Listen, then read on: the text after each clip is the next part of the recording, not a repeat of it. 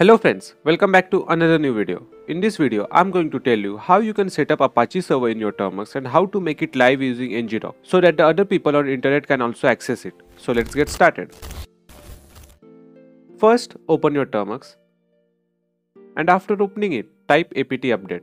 I know that you guys know what this command do. It updates the list of packages. Now after this, you need to type apt install apache 2. This will install apache 2 package. After it is installed, if you will type apache ctl, this command will run Apache server on port 8080. You can see it by launching any browser and visiting localhost is to 8080. Here as you can see it shows the message it works. That means our Apache server is running. Now to stop the server, type apache ctl-k stop. This will stop the server. As you can see, if I will switch to browser and refresh the page, it says page not found. Let's run Apache server again by typing apache ctl. Now Apache server is up again. If I will refresh, we got the same page. This web page that displays it works message is the index.html file in Apache 2 directory. You can add your own HTML files too. Let me show you how to do that. Switch back to Termux and if I will do pwd, you can see that I am in home directory. Now we need to go back to files directory. For that I will do cd dot dot. Now we are in files directory and if I will do ls you can see two directories home and user. We need to get inside user directory. After that get inside share directory. cd share for that and then inside this apache 2 directory cd apache 2 then get in default site then htdocs. I know it's lengthy but later you can just copy the directory path and move here very easily. Now if I will do ls you can see that there is index.html and this index.html displays this it works web page and if I will do cat index.html we can see it's written it works in HTML format. You can also add your own HTML files here. For example, I will create a HTML file here named amanbytes.html using nano editor and in this file I will quickly write something in HTML format. So this is what I wrote quickly, a HTML file that contains a heading and a short paragraph. I will save it by Ctrl and A and close it by Ctrl and X.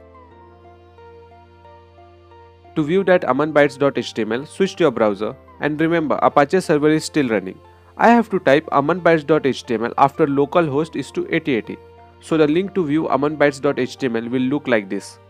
So this is how you can add and view your own HTML files or if you want you can edit the existing index.html file too. Now let me move back to home directory.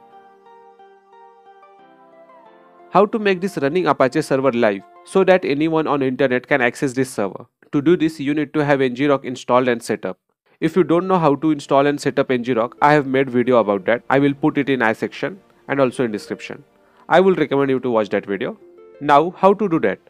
To make it live, I will simply type dot slash ngrok http. I want to start http tunnel at port 8080, so it will be dot slash ngrok http 8080.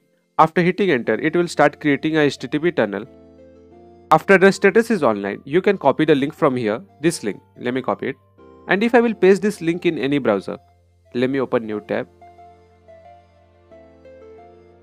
As you can see, it is saying it works. Our local Apache server is now online. Anyone with this link can access our Apache server, not only index.html file, but all files in our server, like amanbytes.html is also accessible. Now what will happen if I will close my local Apache server? Let's see what happens.